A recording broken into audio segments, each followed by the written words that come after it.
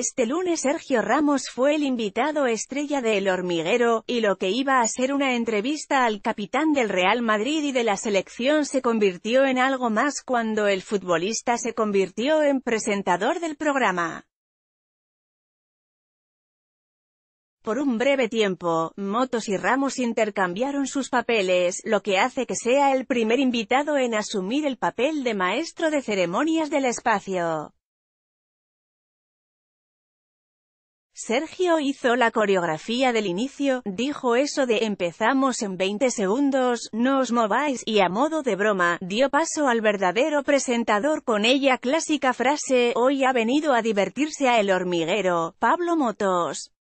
Durante los primeros minutos del programa, Ramos entrevistó a Motos, e hizo clásicas preguntas que se hacen a los futbolistas pero desde un prisma televisivo, como por ejemplo cómo se lleva con el presidente o si próximamente habrá algún fichaje de Telecinco.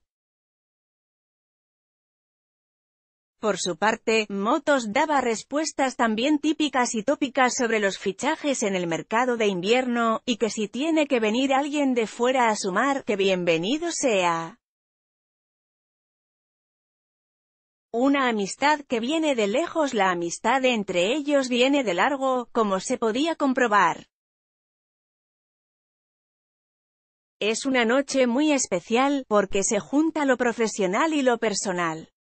Te conozco mucho fuera del campo y espero que esta noche se vea un poquito, decía Pablo Motos una vez ya había cogido las riendas del programa.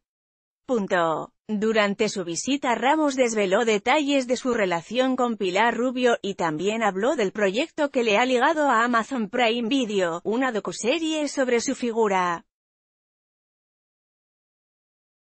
Que, que actualmente en producción y se estrenará en 2019 en más de 200 países. Quiero dejar un legado por todo el esfuerzo que he hecho para mantenerme tantos años en el deporte de élite, aseguró. El cambio de presentadores y la posterior entrevista funcionó más que bien, el hormiguero anotó su récord de temporada, con 3.777.000 de espectadores.